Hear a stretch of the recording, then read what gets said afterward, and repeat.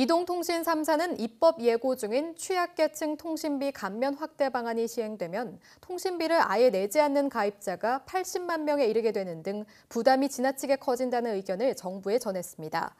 SK텔레콤과 KT, LG U+플러스 등 이동통신 3사는 과학기술정보통신부가 지난달 입법 예고한 관련 고시와 개정안에 대해 이 같은 의견을 제출했습니다.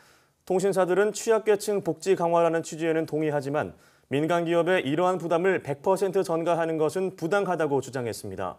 이에 대해 과기정통부 관계자는 통신업체들이 감내할 만한 수준이라고 보고 취약계층 통신요금 감면 규모를 정했지만 통신업체들의 의견은 충분히 검토하고 논의하겠다고 말했습니다.